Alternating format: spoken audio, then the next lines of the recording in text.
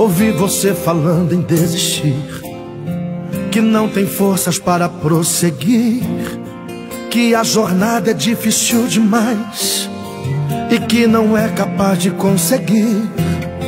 Mas saiba, filho, que eu sou o seu dom. Te escolhi, te capacitei. A tua oração subiu ao trono.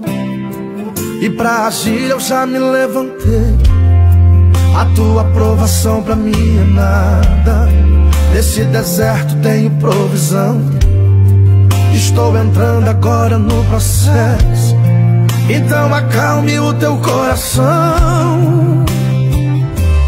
Deixa eu cuidar dos detalhes pra ti. Confia e descansa que eu vou agir. Na ansiedade, filho meu, não há fé.